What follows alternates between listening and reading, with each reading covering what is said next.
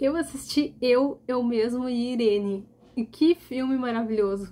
Eu sou suspeita porque eu gosto muito de todos os filmes do Jim Carrey. Eu acho que até hoje não vi nenhum assim que, nossa, não gostei. O Jim Carrey realmente tem assim o meu coração. E esse não é diferente, né? Porque ele é tão querido e aí ao mesmo tempo ele tem uma personalidade muito louca que é o Hank.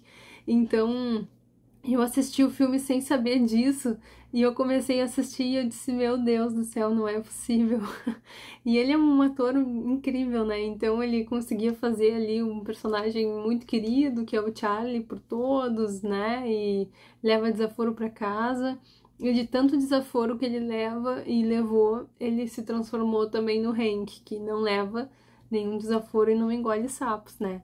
Então é um filme muito divertido, assim, eu curti muito e ele tá aí disponível no Star Plus.